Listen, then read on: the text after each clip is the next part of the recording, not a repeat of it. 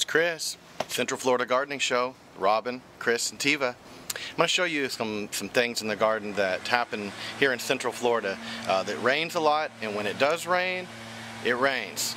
And um, uh, what happens is things like cucumbers, they really can't handle it. I'll show you tomatoes too. So we'll look at cucumbers and tomatoes and the effects of having lots of rain in the Central Florida area. So welcome. Check this out.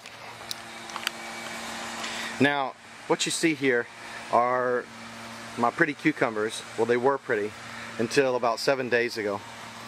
And uh, if you'll take a look at the leaves, let's kind of get in a little bit closer. You can see they've become brown. Some have almost just rotted away. And this is, this is one of the problems of growing vegetables like cucumbers. Uh, these, are, these were a Mediterranean variety and they were getting becoming very devastated by having this much water on them. The leaves are rotting. Let me show you another one. This is an Adam cucumber. Now you can see there's a little cucumber coming right there. And Adam cucumbers are cool because they don't require pollination to start really producing. But you can see that this cucumber here is already rotting from all the rain. You can see the leaves have become the leaves have become fairly devastated. Uh, in fact, even just the heat in Florida is doing some of this. Okay, let me come over, let's come over here. Let's take a look at these tomatoes.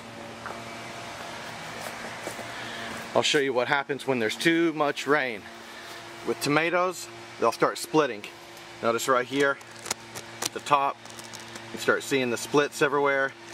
Uh, yeah, these are, uh, uh, this is a great um, hybrid variety of tomato too. Um, trying to think of the name of it. Can't think of it offhand. I'll show you some more tomatoes. Oh, I know what these are called. These are celebrity tomatoes. You can look up celebrities.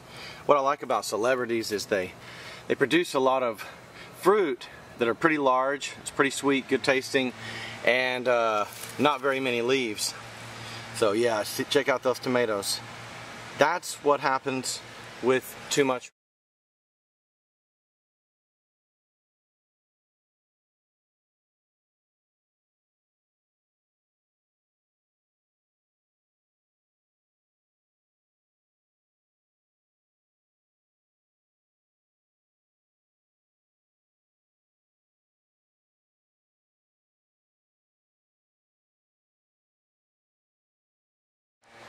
And the moral of these lessons is sometimes rain is not your friend.